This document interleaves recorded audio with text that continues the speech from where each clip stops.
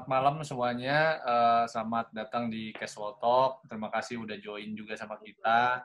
Kan Alta itu buat Casual Talk ini sebenarnya untuk sharing dan berbagi pengalaman tentang ngebangun sebuah studio. Ini Casual Talk kita yang keempat. Sebelum-sebelumnya kita udah pernah ngobrol tentang uh, apa partnership, ada tentang uh, networking, dan sekarang kita fokus ke portfolio karena menurut saya portfolio yang bagus, uh, presentasi yang bagus itu uh, membuat klien tuh lebih percaya sama kita. Jadi uh, dua tahun kemarin kita memutuskan untuk bekerja sama dengan fotografer profesional untuk uh, menjadi lidah penyambung apa sih yang kita pikirkan dan pengen kita sampaikan ke uh, klien atau calon klien gitu. Dan salah satunya kita kerjasama sama Mas Lindu kemarin kita foto untuk project Swiss Bell di Bandung gitu. Dan kita benar-benar amazed banget karena apa yang kita harapkan apa yang kita bayangkan tuh benar-benar di, disampaikan dengan baik gitu sama Mas Lindung gitu. Jadi nggak berlama-lama lagi jadi kita serahkan saja pada ahlinya kita ini. Ahli ahli nujum. Ahli nujum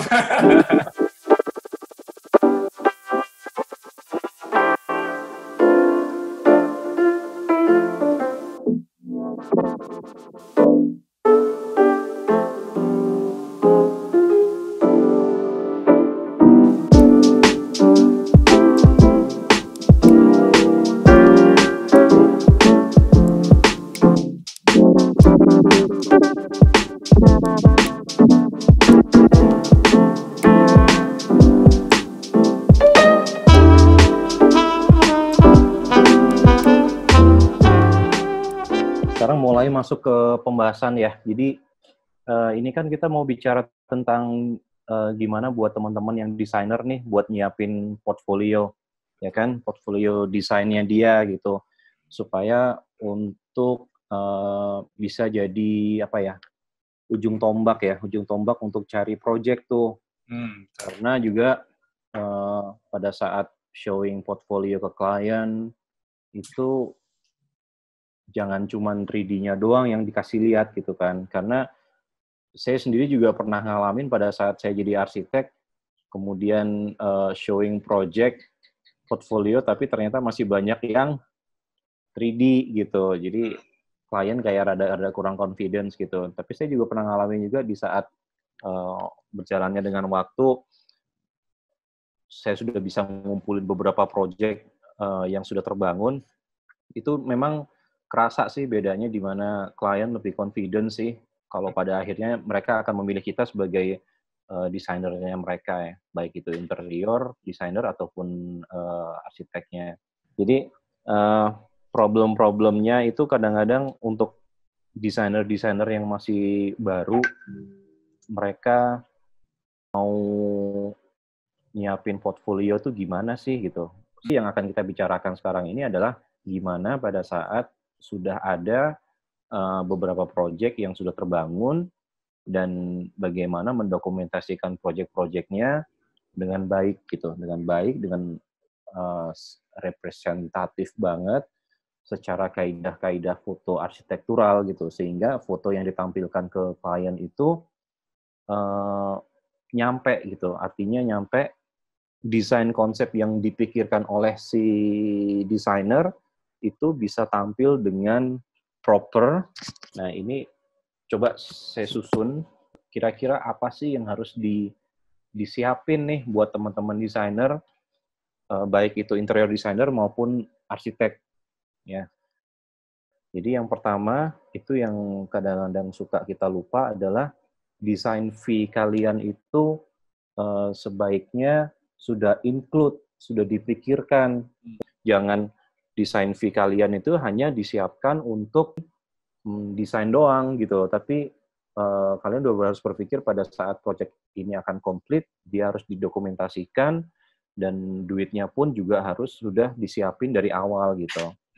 Uh, company-nya gede ya, kalau company-nya besar kayak di Prana gitu mungkin nggak masalah karena mungkin dari sisi finance-nya udah cukup kuat gitu ya. Tapi kalau biro-biro kecil seperti teman-teman, yang mana mungkin sebagian besar dari kita adalah biro-biro kecil, nah uh, itu duitnya bisa di jangan ngambil desain fee-nya tapi itu sudah di add on di situ gitu. Sudah di, di sudah diperhitungkan di awal.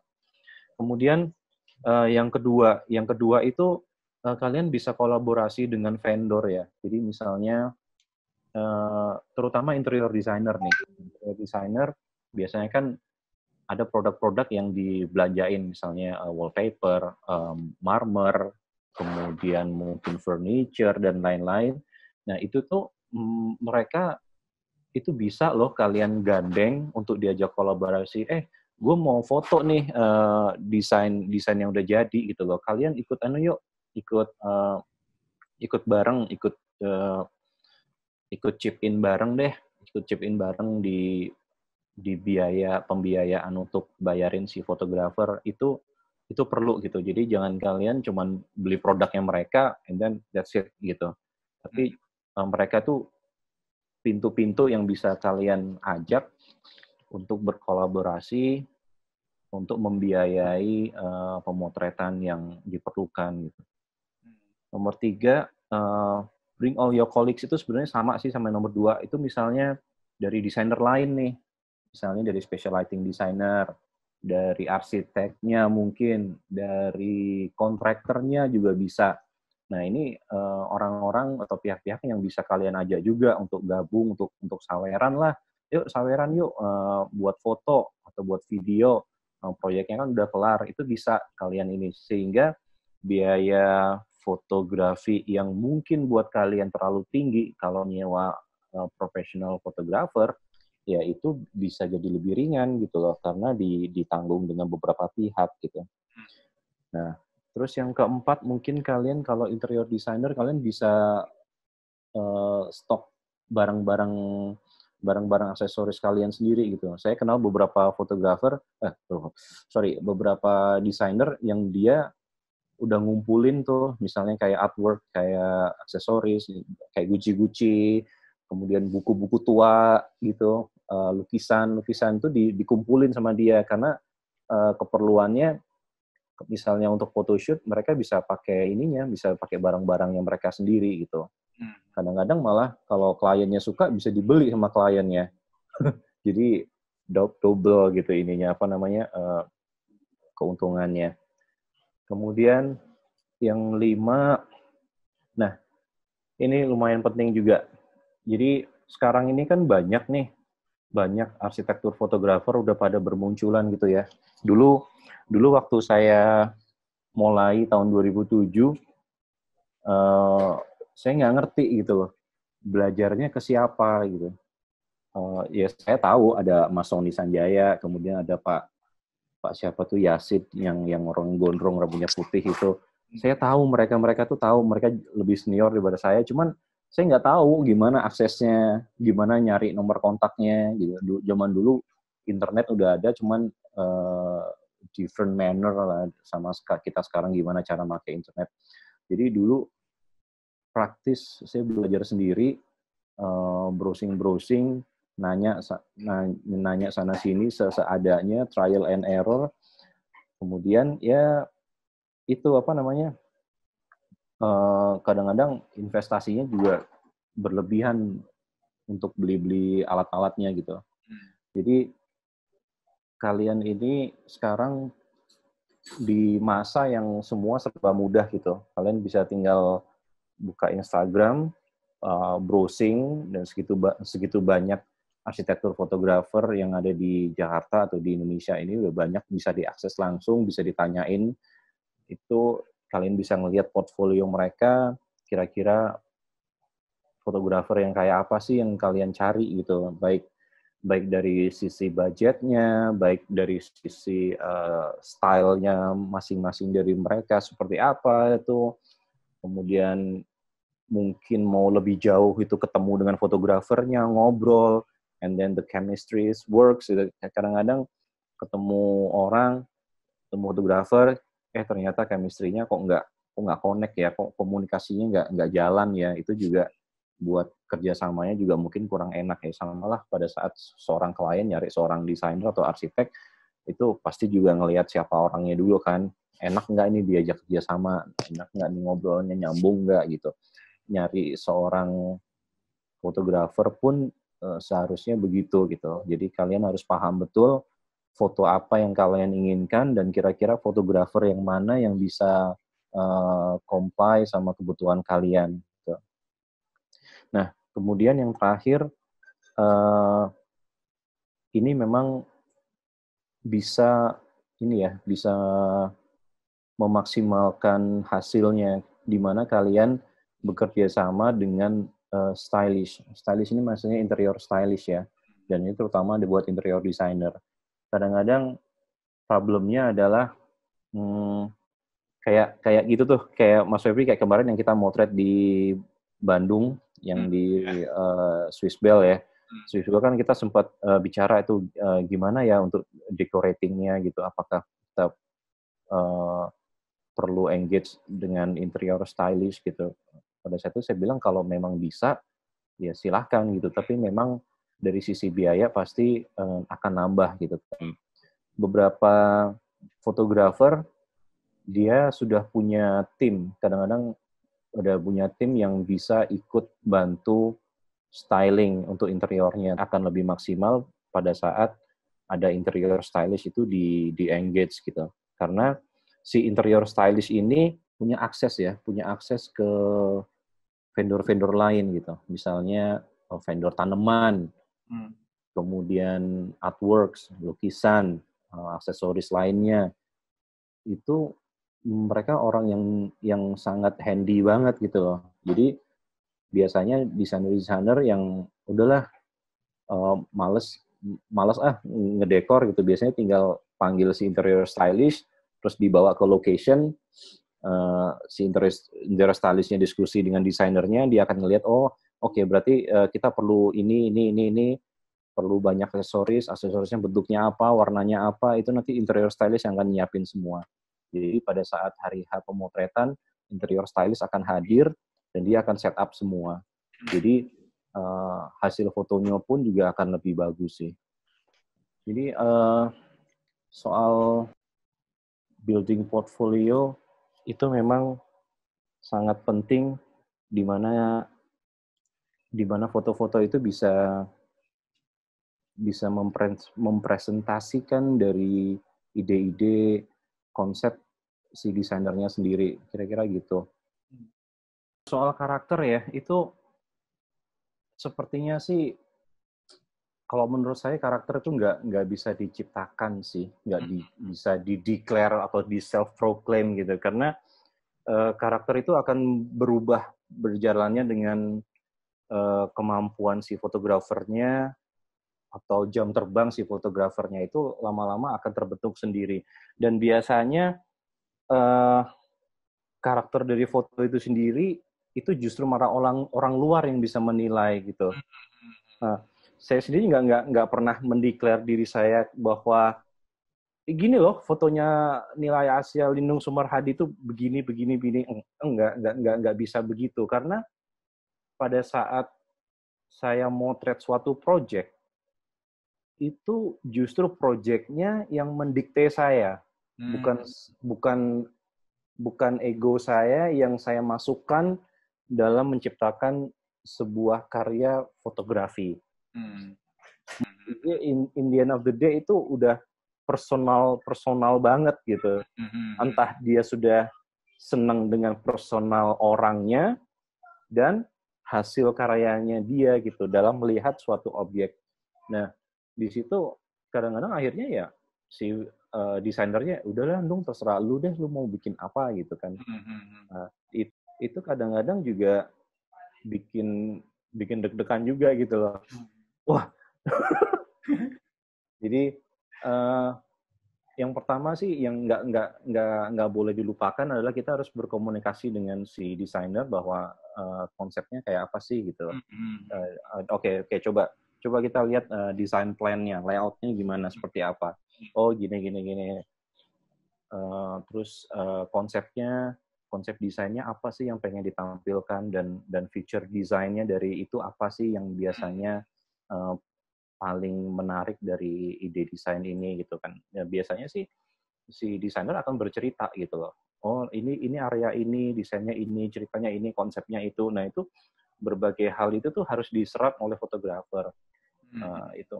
Jadi uh, saya selalu melihat diri saya orang yang lumayan beruntung ya karena di samping saya seorang fotografer arsitektur, saya juga ber, berperan aktif sebagai arsitek juga gitu loh. Karena di situ saya bisa ngelihat advantage-nya gitu loh.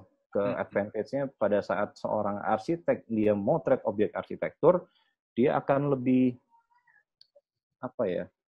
lebih mudah lah mengabsorb ide desain dari si desainer gitu. Hmm. Mungkin sama halnya kalau misalnya ada fotografer fashion, dia mantan foto model misalnya. Hmm, hmm. Nah, itu eh, cara mengkomunikasikan dari si fotografer ke modelnya akan lebih luas dan lebih luas gitu.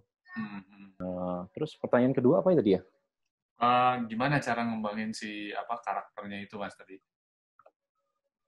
Oh, it's pertanyaan sulit. apa berjalan karakter. gitu aja gitu mas? eh kalau rumus yang saya pakai sih biasanya saya lebih dengerin apa maunya di si desainer sih Oh, dan ah, lebih ke situ karena sekali lagi karakter si fotografer itu nggak penting gitu loh kecuali kalau saya saya senang banget motret fine art fotografi di mana di mana foto itu saya yang bikin ya ini mau mau saya lu nggak suka ya udah terserah udah kayak udah kayak pelukis saja lah ya, ya, gitu ya. loh. Gue bikin begini, ini mau gue gitu loh. Tapi kan kalau di pekerjaan komersil kayak arsitektur fotografer, kita harus dengerin kan, dengerin klien maunya apa, Hmm. desainnya kayak apa, konsepnya kayak apa. Jadi eh, justru malah eh, gimana karakter desainnya yang yang yang yang tampil, bukan karakter Hmm. si fotografernya. Hmm. Kalau misalnya orang-orang di luar sana bisa bisa ngedetect, oh ini fotonya Lindung, oh ini fotonya si ini, ini fotonya si ini, itu itu mungkin eh, efek samping aja sih sebetulnya. efek samping aja, bukan bukan bukan sesuatu yang wah ini lindung banget, yang kayaknya enggak deh gitu. Ya, cuman mungkin bisa ngerasain di mana di sama di mana fotografer ini bisa lebih peka sama Ya, lighting. ya, ya. Oh, fotografer ini bisa peka sama detail. Ya, Oh, fotografer ini eh, paham betul gimana pada saat ini oh bagusnya pakai lensa ini. Pada saat ini dia bagusnya pakai lensa ini sehingga pemilihan lensa itu pun juga penting pada saat dia mau motret gitu loh. Iya. Nah, ya kan? Ya itu itu balik lagi ke sensitivity dari si eh, fotografernya gitu. Hmm, hmm. Tapi menarik banget sih mas. Eh, tadi aku juga apa namanya nangkep bahwa sebenarnya eh, profesi mas Lindung se- sebagai arsitek pun juga mempengaruhi cara dalam memfoto ya mas ya gitu. Yang tadi pasti. lebih Hmm. gampang untuk absorb segala macam keinginan segala macam. Cuma eh, aku sih melihat Mas Lindung tuh saat misalnya menda- eh, apa namanya capture satu project gitu, aku ngerasanya tuh puitis gitu loh mas, puitis. Eh, aku juga nggak tahu ya, apakah maksudnya eh, itu tuh disengaja atau emang jadi eh, apa namanya seleranya Mas Lindung atau gimana? Apa secara komposisi, secara pengambilan cahaya, ada nilai artistiknya. Kan Mas Lindung juga suka foto-foto ini ya Mas ya, apa namanya art gitu ya. Aku lihat Iya, ada iya. ada Hmm. Instagramnya Mas Lindung juga yang fotoin kayak gitu kan gitu. Jadi Iya. uh, apa ya artistik gitu. Iya betul. Jadi eh, kadang mindset mindset saya itu kalau lagi motret, eh, aku nggak hanya memperlakukan objek-objek itu sebagai objek arsitektural atau interior gitu, tapi sebagai objek-objek yang fotograf seni fotografis bisa diambil dari situ gitu loh. Mhm. Jadi pada saya terjun ke lapangan itu saya nggak nggak nggak hanya berpikir bahwa saya seorang desainer juga yang motret gitu Mhm. nggak hanya sekedar itu, tapi saya turun sebagai fotografer yang melihat objek ini adalah objek fotografis, bukan objek arsitektural. Sehingga elemen-elemen mereka itu bisa berbicara secara eh, grafis eh, fotografi. Itu itu yang yang yang jadi selalu menarik gitu loh. Terus Karena saya ada passionate banget di bidang ini, Hmm, sehingga kalau fotonya menurut saya nggak bagus, ya saya akan coba reshoot gitu loh. Oke oke. Hmm. Jadi kalau di dalam hitungan bisnis sudah pasti kacau balau. Iya benar. fee segini, fee, fee segini cuma untuk satu, satu, satu sesi gitu misalnya ya. Kalau mau reshoot ya ada additional charge misalnya. Iya. iya. mungkin beberapa fotografer akan ngecas lagi, tapi nyatanya enggak gitu loh. Kalau saya nggak serak, saya nggak akan berhenti motret gitu loh. Hmm. Saya saya ada satu project, saya ada satu project sampai saya kembali itu bisa 4 5 kali saya motret sampai saya sendiri ngerasa confidence bahwa hasil fotonya itu bagus. Ya, ya. Nah, baru saya confidence ini loh fotonya gitu. Malah kadang-kadang uh, kadang-kadang saya minta reshoot, saya sendiri minta reshoot. uh, mau nggak di reshoot gitu? Kayaknya lebih bagus sekarang daripada yang dulu ini fotonya gitu. Karena kondisi mungkin ada ada yang ada yang mungkin pohonnya udah gede atau segala macam. Nah dari situ tuh uh, aku tuh willing gitu loh, willing untuk melakukan itu. Karena ya seneng seneng motret bukan motret untuk kerja, bukan. Karena kan eh, saya juga masih kerja sebagai arsitek dan saya anggap itu kerja sebagai arsitek eh, saya anggap sebagai profesi, eh, sebagai rutin profesi pekerjaan. Tapi kalau di fotografi saya nggak pernah berpikir bahwa ini sebagai main job ya. Ah. Jadi saya hanya karena saya seneng gitu loh, saya seneng dan saya pengen dihargai dengan harga rupiah tertentu. That, hmm. that's it gitu loh jadi kalau saya punya akses lebih, saya mau motret beberapa kali, saya malah seneng gitu. Sampai menghasilkan suatu foto yang menurut saya bagus. Hmm. Gitu. Dan kadang-kadang kliennya, lu ngapain lagi sih motret? Udahlah, ada ada yang nggak seret, udah deh gue fotoin lagi ya boleh ya. Tolong tolong tolong mintain izin. Mungkin mungkin aku bisa share nih, share uh, contohnya. Wait.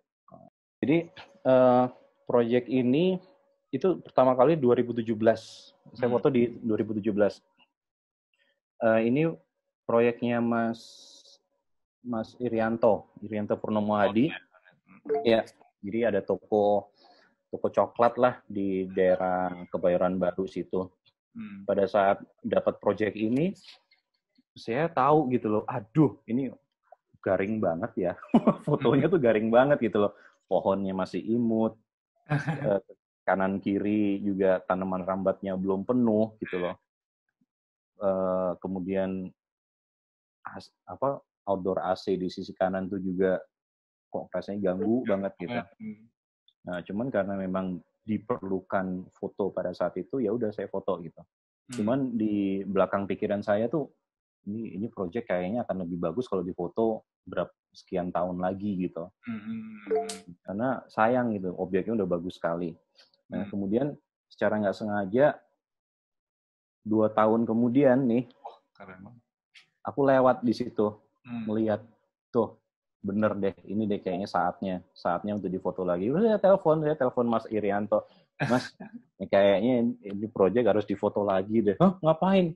Udah deh tolong izinin deh tolong izinin ke ownernya. Mau nggak atau boleh nggak difotoin lagi? Gitu ya udah udah. Ya udah serah kamu landung gitu ya. Udah. Diizinin saya foto deh. Hmm. masih dengan konsep yang sama pastinya. Dia uh, straightforward. Jadi uh, semua juga uh, tanamannya udah mulai hijau kemudian uh, saya ngambilnya juga lebih lebih pagi hmm. hmm.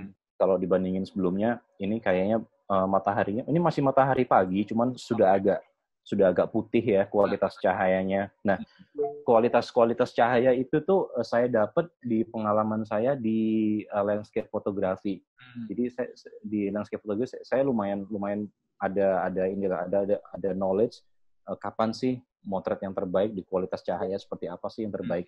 Hmm. Dan di sini kita ngelihat dia agak yellowish ya. Iya, iya, iya. Dibandingin yang ini, dia lebih whitish. Nah, itu. Jadi uh, ini saat yang terbaik ini lebih lebih pagi lagi motretnya uh, cahaya paginya masih ada kuning kuning di dekat pohon tuh masih kuning hmm. outdoor AC juga lebih ketutupan uh, Mas Anto sendiri juga nggak mau kabel-kabelnya dihilangin dia maunya hmm. as is hmm. Kemudian ya lucunya ini orang yang sebelumnya naik sepeda sudah ganti naik Vespa di posisi yang... ya mas ya Oke, okay, nah itu dia. Uh, kalau kalian tahu sih kemampuan Photoshop saya sangat-sangat standar, jadi basic basic no basic apa namanya operation banget lah. Hmm. Saya bukan orang yang suka berlama-lama di belakang komputer untuk hmm. ngedit.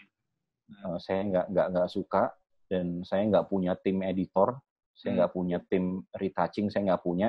Jadi from A to Z semua foto itu uh, aku yang handle. Jadi kayak kayaknya nggak rela gitu loh uh, saya yang motret tapi yang edit orang lain gitu atau misalnya saya dapat project uh, yang motretin uh, partner partner saya gitu hmm.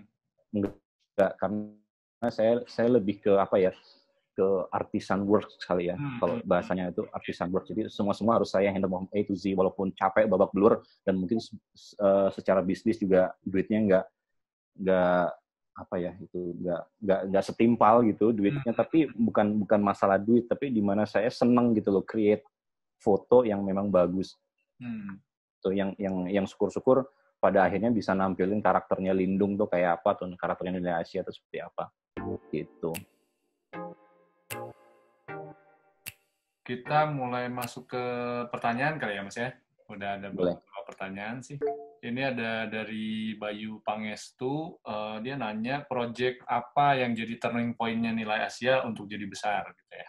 Maksudnya mungkin yang project project apa ya, pioneer project yang akhirnya tuh ngebuat nilai Asia tuh lebih dikenal lah mungkin gitu kali ya.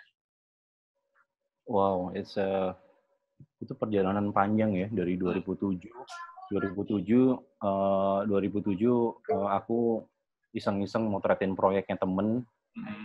Uh, oh ternyata enjoy juga ya, enjoy juga nih motretin arsitektur gitu. Dan dan apa paham gitu loh angle-angle mana yang harus diambil. Walaupun pada saat itu equipment saya masih terbatas, belum punya lensa wide, masih pakai lensa biasa dan bukan lensa yang tilt and shift yang specifically bisa dipakai untuk arsitektur jadi gambarnya juga peyang-peyang semua. Eh, tapi ya itulah saya bisa ngerasain bahwa oh ya kayaknya aku fit ya di fit in gitu di di dunia hmm. arsitektural fotografi kayaknya bisa nih dicoba nih gitu kan pada saat itu saya kerja di DP DP Architect di Singapura uh, di situ saya lebih, sebenarnya lebih banyak motret landscape pada saat saya di Singapura cuma hmm, ada satu associate ada satu associate yang minta beberapa anak-anak Indonesia yang suka motret hmm. pada saat itu untuk motretin proyek-proyek DP dan itu pro bono. Dasar DP. Dia mengerahkan tujuh orang atau delapan orang gitu. Hmm. Saya ingat ada ada tujuh orang atau delapan orang itu yang dikumpulin. Eh kalian kan suka potret kan? Uh, hmm. Padahal padahal zaman dulu kita lebih sering motret landscape tapi eh coba deh potretin proyek-proyek DP deh. Ya udah kita mau seneng seneng aja walaupun nggak dibayar sih gitu. Tapi ada ya aku nggak dibayar sih? Dan dari situ juga uh, makin makin terlatih makin terlatih gitu kan. Hmm. oh cara ngelihat objek begini begini. Dan dari situ saya mulai invest uh, peralatan-peralatan yang specifically dibutuhkan untuk arsitektur fotografi. Hmm. nah uh, turning point-nya itu pada saat saya di Hadi Prana. Hadi Prana tahun 2011 2011 jadi 2007 sampai 2011 2011 Hadi Prana ada pameran interior di JHCC. Hmm. Kayaknya sih pameran interior Hadi Prana yang pertama deh kalau nggak salah. Di situ saya iseng-iseng motretin juga. Hmm. Iseng-iseng motretin. Uh, terus saya kasih lihat hasil fotonya ke direkturnya, ke principal directornya. Ternyata mereka happy dan berapa dong? Berapa duit dong gitu ditanya. Hah? oh bisa ngecas toh dalam mati gitu oh ada wah berarti oh ya udah padahal niatnya mau ngasih gitu loh yeah, yeah, yeah. ternyata oh dari situ nah akhirnya mulai dari situlah uh, Hadi Prana mulai continuously until now hmm. Hadi Prana uh, pakai jasa nilai Asia untuk uh, mendokumentasikan proyek-proyeknya dan hmm. pada tahun 2018 uh, Hadi Prana kan uh, publish buku tuh. Dan saya satu-satunya fotografer di buku itu karena mereka melihat bahwa hmm, kalau buku dibikin oleh satu fotografer maka karakternya akan nah itu lagi-lagi karakter nih. Maka atau karakter atau stylenya itu akan sama gitu kan. Dari, daripada yang satu buku tapi di handle beda-beda fotografer. Yeah, yeah, yeah. nah dari situ dari motretin proyek Hadi Prana kemudian saya dikenalkan dikenalkan sama orang media. Hmm. uh, pada saat itu living living etc living etc dia cari kontributor fotografer. Dari situlah pintu-pintu saya kebuka mulai dari media itu. Hmm, okay. dan uh, dari dari motret interior yang purely set up untuk fotografi atau yang memang real project yang difoto. Dari situ uh, selama hampir tiga tahun berturut-turut deh mot- motretin untuk kontributor majalah di situ saya banyak belajar juga. Oke, kurang lebih kejawab lah ya panjang panjang lebar. Nih eh, pertanyaan berikutnya nih Mas dari Andreas Perbowo. Gimana tips agar fotografer bisa membantu menyadarkan desainer pentingnya fotografer sebagai penyambung lidah mereka, khususnya untuk kota-kota yang baru mulai berkembang, publikasi karya arsitektur dan interiornya. Iya, jadi uh, terlepas dari mahal atau murahnya uh, fee fotografer, Hmm. mungkin beberapa fotografer yang bukan spesifik bukan spesifik fotografer arsitektur interior mungkin bisa-bisa aja gitu, tapi uh, pasti ada satu sisi yang yang terlewatkan gitu. Gimana cara pilih seorang fotografer yang bisa menyampaikan ide desainnya dengan baik? Betul, betul, betul. Pasti itu. Hmm. ya kan ini nyambung nggak sih gitu pada saat misalnya fotografernya fotografer general gitu disuruh motret objek arsitektural ya mungkin kalau desainer yang jelasin konsepnya ke dia yang mungkin agak sulit gitu agak Iya, agak eh, apa ya gitu. Gitu sih.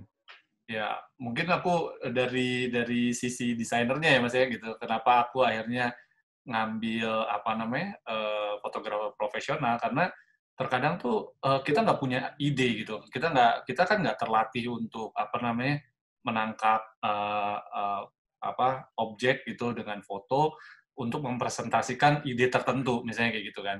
Jadi Iya. kadang-kadang kita cuma tahu oh ya tadi kayak Mas Lindung bilang berdiri di pojok untuk dapetin semuanya tapi ada detail-detail yang terlewat dan kita nggak punya ide gimana cara untuk untuk apa ya, mempresentasikannya dengan baik gitu. Nah, aku sering dapat akhirnya dapat kayak apa ya, misalnya setiap ngelihat eh, kemarin gitu karyanya Mas Lindung, aku kadang-kadang suka amazed gitu, eh bisa dari view kayak gini ya ternyata bisa nampilin apa detail yang gua mau gitu. Nah, itu karena mungkin eh, ya sama kayak kayak klien memberikan job kepada desainer juga, dia ada hal-hal yang kurang sebenarnya di situ, nggak ekspertisnya di situ gitu. Jadi Iya, memang iya, memang memang perlu ada orang yang jauh lebih ngerti dan lebih eksplor di bidang itu gitu untuk eh, apa mempresentasikan karya kita sih. Kalau aku sih kayak gitu sih. Dan Iya. gear-nya kita juga sangat terbatas kan mas gitu. Gitu kita sangat terbatas gitu kalau gini. Iya. Jadi Iya. ya kayak gitu sih. kapan tuh juga pernah sih dapat dapat klien eh, corporate kliennya bukan seorang desainer bukan pokoknya bukan dari bidang desain aja Hmm. dia corporate eh, law firm Hmm. law firm tiba-tiba telepon saya minta difotoin kantornya Hmm. oke saya datang dia cerita kalau sebelumnya kantor saya udah difoto sama seorang fotografer. Oh gitu. Terus kenapa difoto lagi? Ya kita nggak nggak kok nggak nggak serak ya mau foto-fotonya. Lo kenapa? Ya nggak tahu sih kok nggak serak aja. Emang dia siapa? Maksudnya apakah dia seorang arsitektur fotografer atau enggak oh enggak dia dulu motretin kita pada saat uh, kantor kita ada event up- Hmm, hmm, event panggung lah ada ulang tahun kantor kita ulang tahun terus kita nyewa fotografer dia motretin eventnya itu and then oh bosnya suka sama foto-foto dia. Ya udah deh lu motretin deh kantor gua gitu kan begitu di foto mereka shock kayak gitu gitu. Oh, gitu kan. Oh ya udah terus begitu saya masukin quotation pingsan juga sih mereka gitu? Oh, Kok segininya. mahal banget. Hmm. terus terus aku kan jadi Hah? Ya, kok mahal sih dalam hati? Gitu. Masa sih? Iya mahal banget loh gitu Eh, oke. Terus akhirnya dia cerita kalau eh, fotografer itu chargingnya way way way di bawah aku gitu kan. Ya ya jelas dong karena kan dia bukan bukan arsitektur fotografer bukan spesialisnya gitu loh. Oh emang beda ya? Bukannya fotografer tuh semua sama ya? Aduh pingsan. Eh, eh, enggak. Ya jadi gini kalau memang ya samalah kayak fotografer kayak saya disuruh motret model ya gemeter nggak bisa. Gitu. Nggak ngerti apa yang harus diambil gitu kan. Saya harus motret food ya saya juga bingung. Mungkin motretnya ini bisa motret tapi kan nggak ngerti sisi-sisi mana. Saya nggak fluent di situ. Ya kan kayak misalnya nih seorang desainer biasa desain biasa desain modern minimalis. Hmm. kayak Mas Aang tiba-tiba Mas Aang disuruh desain klasik gitu kan pingsan Mas Aangnya ya kan aduh kan ya sama kayak gitu kan Iya, iya, iya. Oke, lanjut ke pertanyaan berikutnya ya Mas. Mudah-mudahan tadi uh, terjawab pertanyaan dari Andres Perbowo. Uh, ini next questionnya ke Bram Namaskara. Kalau waktu yang baik untuk foto interior, apakah sama dengan foto arsitektur? Early morning atau afternoon? Karena uh, karena kan ada juga interior yang ketika lighting interiornya dominan malah lebih hidup. Terima kasih. Uh, ya, kalau bicara ideal ya, kalau gimana cara gimana cara saya kerja motret. Kalau motret eksterior, saya early morning, pagi, pagi-pagi banget itu early morning, itu udah saya udah standby untuk motret eksterior. Hmm. Uh, tapi itu pun juga tergantung ya, tergantung arah matahari gimana. Tapi biasanya sih dimulai dari eksterior di pagi hari. Nah, setelah selesai, saya langsung masuk tuh ke interior. Saya motret interiornya Terus uh, biasanya bisa bisa sampai jam 11 11 siang lah tergantung kondisi desainnya seperti apa. Apakah apakah memungkinkan di foto sampai siang misalnya. Kemudian saya mulai lagi biasanya sore. Sore itu bisa motret interior. Kalau misalnya matahari sore masuk ke dalam ruangan uh, dan menjelang maghrib, menjelang apa namanya uh, sunset gitu, saya motret eksterior lagi untuk motret uh, eksterior bangunan di mana lighting-lighting fasadnya mulai dinyalain. Hmm. Itu sih kalau kita bicara kondisi ideal. Nah, untuk foto interior kadang-kadang ada yang difoto pagi banget pada saat matahari masuk masuk dari jendela misalnya ada bukaan opening opening itu itu bisa juga difoto itu bagus pagi-pagi kalau siang-siang uh, itu bisa juga tapi dengan catatan kalau pada saat uh, apa ya kontras ya kontrasnya terlalu jauh kadang-kadang itu bisa jadi problem juga hmm. jadi uh, kita bicara situasional sih sebenarnya hmm. toh juga karena kita pakai digital kamera jadi kita juga masih bisa ngakalin lah kalau misalnya tiba-tiba suatu ruangan harus difoto dan kondisinya matahari di luar udah terlalu harsh atau udah terlalu keras. Tapi uh, saya juga banyak belajar bahwa sebenarnya di di situasi apa pun, di kondisi apa pun, di cuaca apa pun, motret arsitektur dalam ini hal-hal ini eksterior ya itu bisa bagus, bisa menarik. Hmm. Entah itu di saat di saat uh, lightingnya prima, misalnya di sun, di saat sunrise atau sunset, kan waktu-waktu prime, sama hmm. halnya kayak kita motret landscape, Hmm. Tapi di cuaca yang buruk sekalipun, yang kayak misalnya di men, pada saat mendung atau hmm. hujan sekalipun, itu bisa bagus gitu, hmm. nggak nggak nggak masalah gitu. Semakin ke sini itu kita semakin paham bahwa uh, setiap foto bisa tampil fine, bisa bisa tampil polish atau bisa tampil dramatis gitu. Dramatis dalam arti misalnya cuacanya buruk. Kadang-kadang malah cuaca buruk bisa menghasilkan foto yang yang bagus juga loh. Yang oh, bagus. Lindung pernah foto hujan juga ya? Iya. waktu itu yang motret motret di Kenapa? Iya, kalau nggak waktu itu aku pernah ingat itu kalau nggak salah Mas Lindung pernah foto project ya hujan gitu, tapi jadi sesuatu advantage malah gitu. Iya, uh, waktu itu motret projectnya RDMA, uh, nah. ada pabrik pabrik di daerah Bandung lah, dekat daerah Bandung situ. Sebenarnya foto nggak harus tampil yang polish banget atau yang cantik sekali nggak kadang-kadang yang malah dramatis yang moody yang gloomy itu bisa bisa ngeluarin apa namanya aura yang beda kira-kira yeah, gitu mm-hmm. Oke ini uh, ada pertanyaan lagi dari partnerku nih mas dari Gilang sejauh ini bagaimana peran fotografi arsitektur atau interior dari klien-klien Mas Lindung yang masih berupa biro kecil terhadap terhadap menaikkan brand dan penjualan mereka? Uh, mereka happy sih. Kayak kayak sebelumnya sebelumnya uh, ada ada biro kecil, bukan biro kecil malah dia sebenarnya punya side job di suatu perusahaan konsultan. Hmm. Kemudian dia punya completed project yang harus difoto. Hmm. Nah, cuma dia nggak punya budget, dia nggak punya budget untuk ngebayarin arsitektur fotografer yang profesional gitu.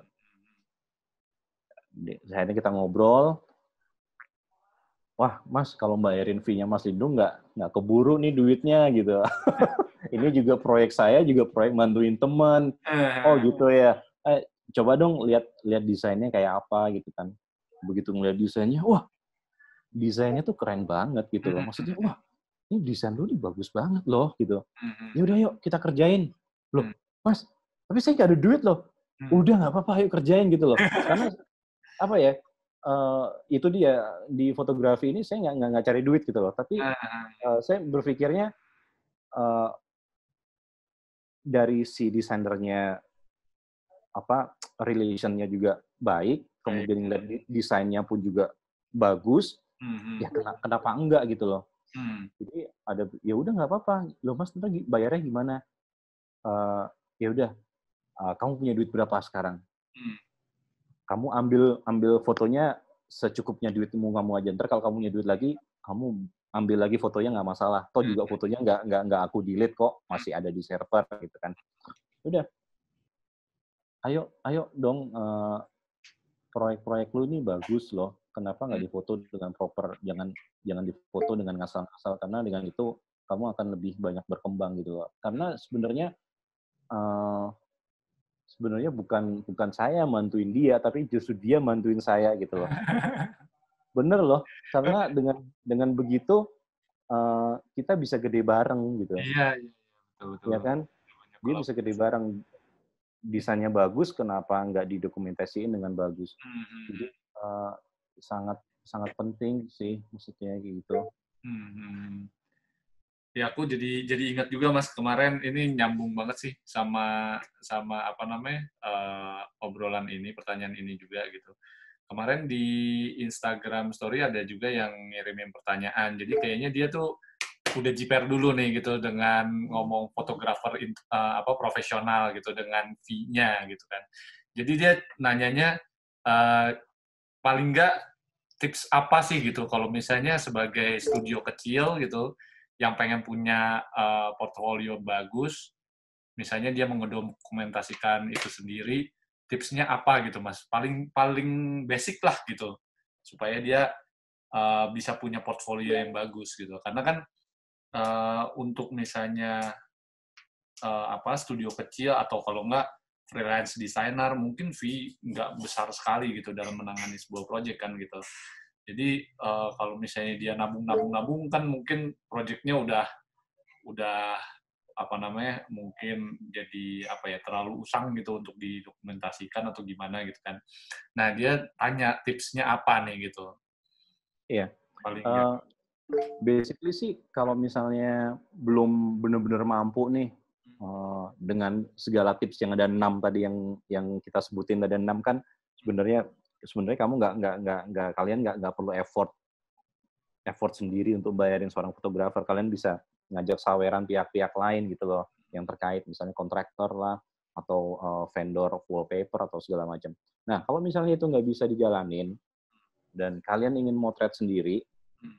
atau call friend yang bukan specifically fotografer arsitektur untuk motretin. Nah, itu tipsnya kamera apa pun dengan lensa apa pun bisa untuk motret arsitektur.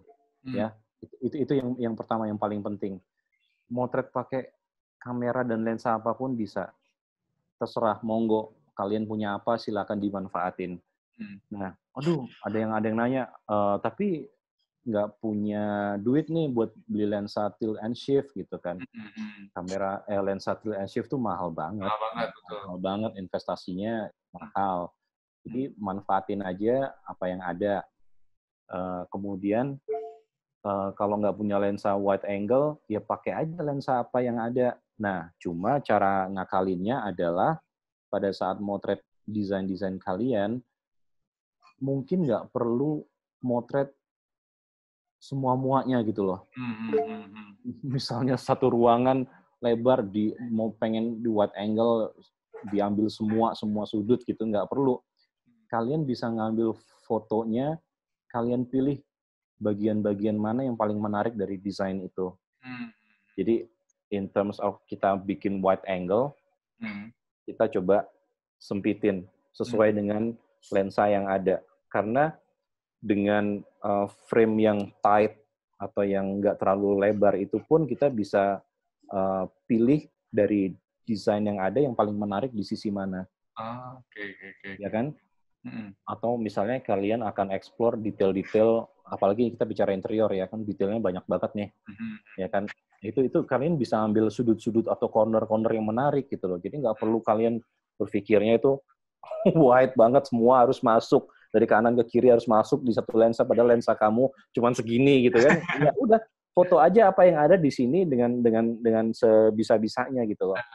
Karena kalau sekarang kalau misalnya kalian buka majalah desain anthology, Oh iya. desain anthology is very good reference. Hmm. Uh, even banyak fotografer yang sekarang merefer ke situ.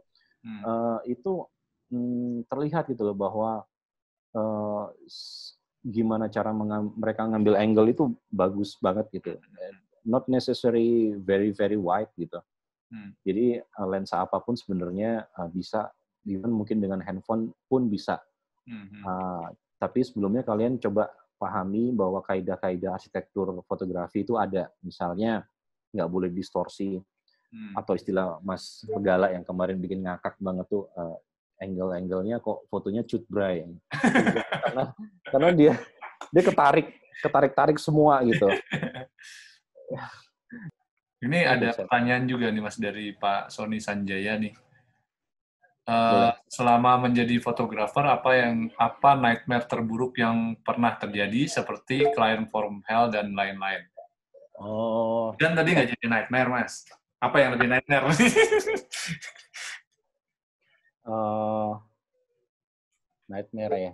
Diusir klien itu mungkin Oh ya pernah itu. kayaknya soal punya ya gitu ya. Itu ya, saya baru sekali seumur hidup tuh motret diusir. Tapi yang lebih nightmare lagi adalah pada saat saya motret interior. Hmm. Ya, saya ingat itu motret interior, master bedroom, Mhm. eh, kayu-kayunya itu kayu jati yang a bit reddish, warnanya agak-agak kemerahan. Mhm, mhm. Kemudian banyak motif eh, apa itu tenun Oke. ikat, Mhm. itu pun juga banyak yang merah tua, marun begitu. Hmm. Eh, begitu difoto, menurut dia kok merah banget ya fotonya ya. Nah kan pingsan kan. Eh, jadi itu saya repair fotonya beberapa kali itu nggak nemu-nemu gitu loh. Hmm. apa monitor saya yang salah atau motretnya yang salah atau ngeditnya yang salah gitu loh. Jadi itu eh, motret interior tuh sangat-sangat apa ya buat saya itu resiko gede gitu loh pada saat ambience-nya itu nggak nggak nggak nggak sesuai gitu. Oke mas, Eh, mungkin closing statement nggak ya mas ya tentang pembicaraan ini mungkin eh, untuk desainer yang mau pakai jasa fotografer profesional dan yang juga mau memulai bisnis fotografi interior arsitektur. Eh, intinya mu- mulai deh di- ditimbulkan awareness bahwa eh, worth it banget investasi untuk meng-hire eh, professional arsitektur fotografer ya, bukan yang generic fotografer. Karena di situlah justru eh, ujung tombak ujung tombak kalian sebagai desainer itu untuk dapetin next next project gitu loh Mhm. karena eh, orang-orang ini fotografer inilah yang yang yang paham gimana mempresentasikan desain kalian dengan baik. gitu. Iya. Istilahnya kalian maju perang tapi nggak dibekali eh, amunisi yang cukup atau am- amunisi yang bagus gitu. Hmm. Sedangkan sekarang me- medsos itu gencarnya minta ampun kan, Mhm. gencarnya minta ampun. Jadi kalau kalian nggak mempresentasikan desain-desain kalian dengan baik, nah, intinya sih eh, kalian udah mulai mempersiapkan lah Hmm. untuk eh, motret proyek-proyek kalian dengan cara yang betul, dengan kaidah-kaidah arsitektural yang betul juga gitu. Entah itu kalian nyewa arsitektur fotografer profesional kah, atau motret sendiri kah, atau minta tolong temen yang bisa motret, monggo nggak apa-apa. Tapi eh, coba kalian banyak pelajari eh, gimana foto-foto yang ada di buku-buku arsitektural. Mhm. Sekarang gampang banget di Instagram ada, di Pinterest juga banyak. Itu kelihatan lah eh, gimana cara pengambilan gambar-gambarnya. Hmm. Kalau mau nanya-nanya eh, DM ke saya juga boleh nanti saya ajarin kaidah-kaidahnya kayak apa. Wah, mantap. Tapi ya itu dia. Nah, kayak ya tapi kayak gitu udah udah mulai mulai ditumbuhkan kesadaran lah bahwa uh, apa namanya foto foto arsitektural untuk portfolio yang bagus itu sangat penting karena itu jadi apa ya jadi ujung tombak kalian lah untuk cari proyek yang baru lagi gitu. Oke, makasih banyak Mas Lindung. Makasih Thank you. banyak Thank you, Mas yang udah join. Mudah-mudahan uh, next time kita juga bisa ngasih apa obrolan-obrolan yang inspiratif kayak hari ini juga. Iya. Makasih yeah. banyak Mas Lindung. Okay. Sampai Thank ketemu you. lagi. Sama-sama teman-teman yang lain. Oke, okay. thank you banget semuanya.